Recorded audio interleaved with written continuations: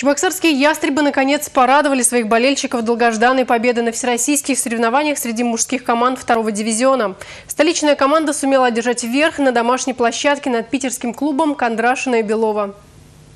Поражение в Тамбове, поражение в Энгельсе и вот игра в Чебоксарах. Волнение зрителей на пределе, ожидания самые оптимистичные. Ястребы своих поклонников не подвели, хотя и заставили их понервничать. На протяжении практически всей игры преимущество в счете было на стороне питерских гостей. Однако встрече все же не суждено было завершиться поражением хозяев.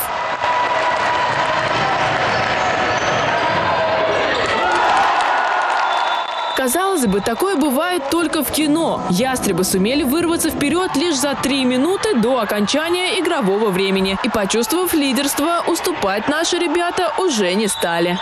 Нам эта победа нужна была любой ценой, потому что как бы команда должна психологически настроить на себя. После череды поражений надо в одной игре победить, и тогда команда уже будет играть и легче будет, потому что большой груз ответственности у команды.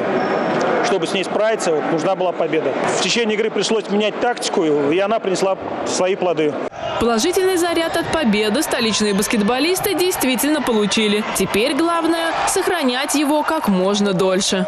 У нас были выездные игры, а сейчас у нас первая домашняя игра. Мы просто не могли, не знаю, ни перед собой, ни перед болельщиками, просто не могли проиграть. А вначале была небольшая нервозность, но это все видно было на табло и по игре.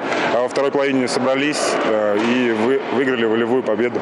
81-73. Именно этим счетом завершилась домашняя игра первого дня. На очереди прием в Чебоксарах баскетбольного клуба «Буревестник» из Ярославля. С ним ястребы сыграют уже 4 и 5 ноября. Екатерина Абрамова, Игорь Зверев, Республика.